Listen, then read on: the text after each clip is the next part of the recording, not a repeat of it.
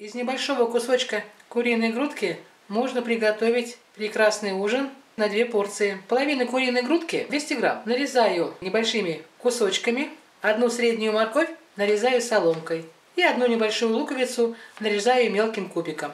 Ставлю сковородку на огонь, наливаю 2-3 столовых ложки растительного масла без запаха, разогреваю, выкладываю в сковородку нарезанные кусочки куриной грудки, обжариваю мясо примерно 2 минутки, постоянно помешивая. Добавляю лук, немножечко его притушу, тоже буквально минутки 2. Добавляю морковь, можно, в принципе, лук с морковью сразу добавить вместе.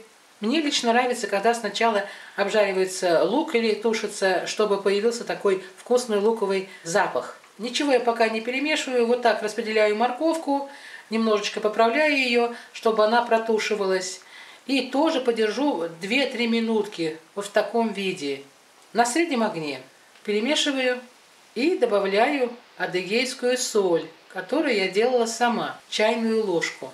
И добавлю еще немного сушеной зелени, домашняя сушеная зелень. Снова хорошо перемешиваю, добавляю горячую воду, примерно стакан, емкостью 200 мл. Довожу до кипения, убавляю огонь, делаю минимальный, накрываю крышкой и буду тушить под крышкой минут 20, не больше. Пока готовилась куриная грудка, параллельно я отварила рис. Из этого количества куриной грудки с луком и морковью у меня получилось две порции с гарниром из риса.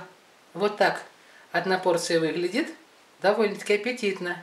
И это очень-очень вкусно. Если вам понравилось видео, ставьте лайк, палец вверх, а также не забывайте подписываться на мой канал, чтобы не пропустить мои новые видео. Пишите комментарии, а я с вами прощаюсь. Всего доброго. До новых встреч!